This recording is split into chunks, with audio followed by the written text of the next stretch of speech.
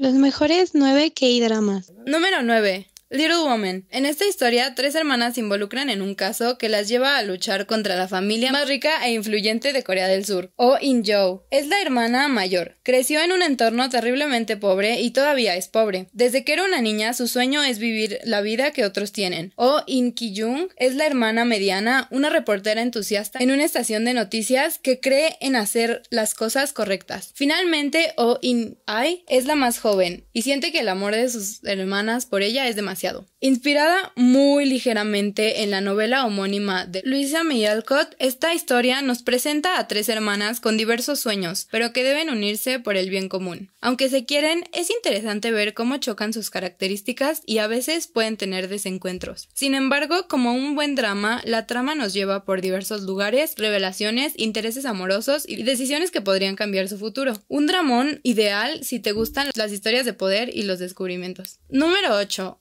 The Queen's Umbrella. La reina Hawa Reyong debe proteger la vida de sus hijos, ya que el príncipe heredero se encuentra enfermo y la mamá del rey desea quitarla a ella del poder. La última vez que el príncipe heredero estuvo enfermo y murió, una de las concubinas del rey pasó al poder y todos los hijos de la que fue la reina murieron en accidentes muy raros. Por ello, Hawa Reyong decide empezar a criar a sus cuatro hijos como si fueran príncipes herederos, para que uno de ellos quede en el poder y así evitar que los maten. Y si de historias dramáticas hablamos, no podemos dejar de lado las herencias, los legados familiares, esas villanas que parecen estar paridas por el diablo y el amor de una madre. En este caso, la trama nos lleva a un intenso enfrentamiento entre una madre y la mujer que la quiere dejar sin nada, aunque con elementos asiáticos en su historia. Under the Queen's Umbrella encaja perfecto con el drama que nos gusta a los latinoamericanos. Número 7. The Silent Sea. Esta historia nos muestra cómo es que un grupo de astronautas va a la Luna por una misión otorgada por el gobierno. Recuperar una muestra que hay en una estación de investigación abandonada en dicho satélite. Lo que no saben es que el resultado de la misión puede ser vital para mejorar o perjudicar la crisis que hay en la Tierra. Como los asiáticos tienen creatividad y presupuesto para todo tipo de historias, nos vamos de las historias más tradicionales a una llena de ciencia ficción. Lo más atractivo de todo es que combina un género lleno de posibilidades con el drama que esperamos de aquellos lares. Si hay cosas de guion que no terminan de engranar o se sienten lejos del argumento principal, pero el espectáculo es más grande que los errores y termina por convencer a los espectadores. Si buscas un dramón medianamente tradicional y con ideas futuristas y una gran ambición, esta es tu mejor opción. Número 6. The King, Eternal Monarch. A través de un misterioso portal, un emperador coreano termina en un mundo paralelo donde se encuentra con una inspectora de policía. En el universo alternativo, Corea es un imperio gobernado por un solo monarca, el emperador Lee Gon,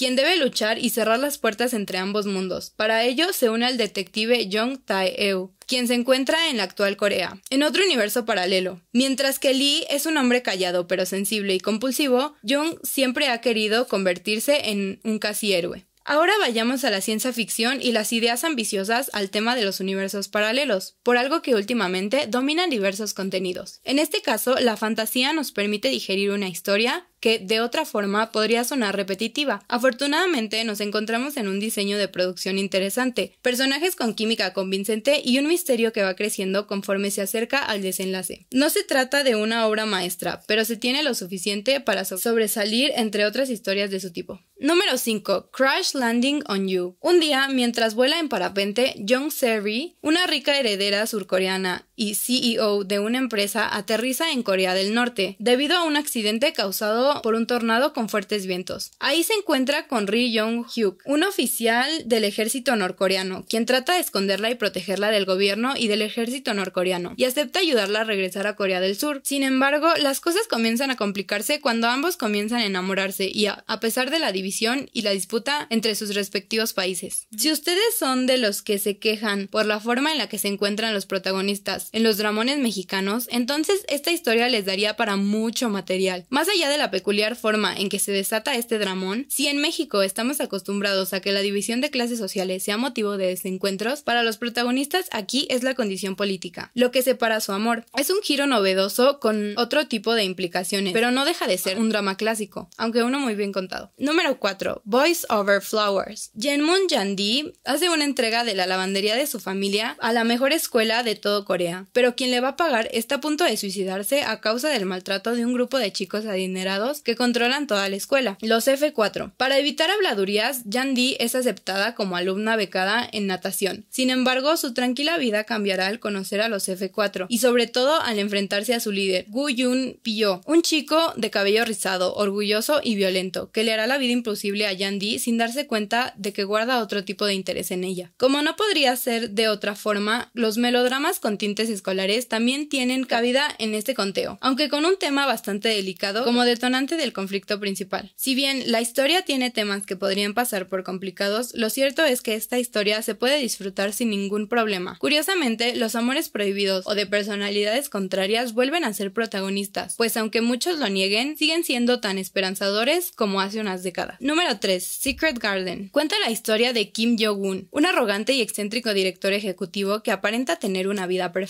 Es un dueño de un centro comercial y poseedor de una gran fortuna. A diferencia de Jill Ra-im, una pobre y humilde doble de acción cuya belleza y cuerpo son objeto de envidia entre las actrices más famosas. Ambos se conocen por accidente cuando Yu Won confunde a Ra-im con la actriz Park Chae-rin, por lo cual siente algo, y esto marca el inicio de una tensa y reñida relación. Todo cambia cuando Ra-im termina enamorando a, a Won con su genuinidad y su forma de tratarlo, y una extraña secuencia de eventos que hace que intercambien de cuerpos. Sí, yo sé que la mayoría de estas historias suenan como una telenovela mexicana, pero caigamos en cuenta que este tipo de tramas no pretenden inventar el hilo negro, solo pretenden darle un propio giro a sus romances y desencuentros que ya hemos visto hasta el cansancio. En este caso, la fórmula del cambio de cuerpo da cierta frescura a la historia, pues de lo contrario estaríamos ante una repetición más de la misma anécdota de siempre. Afortunadamente, hay ciertos toques de comedia que funcionan de una buena forma. Si quieren pasar un buen rato con una historia ligera, con protagonistas encantadores y buenos personajes, aquí tienen un gran plan. Número 2. All of Us Are Dead. Narra el caos que vive un grupo de estudiantes cuando se dan cuenta de que tienen que enfrentarse con las pocas existencias que tienen una situación de crisis extrema. Estos quedan atrapados en el instituto al que asisten mientras un virus zombie se propaga por todo el mundo. La escuela está llena de infectados, pero nadie puede salir de ahí. El grupo de amigos deberá hacer todo lo posible para sobrevivir y salir del colegio sanos y salvos cuando el apocalipsis zombie termine. Esta historia se convirtió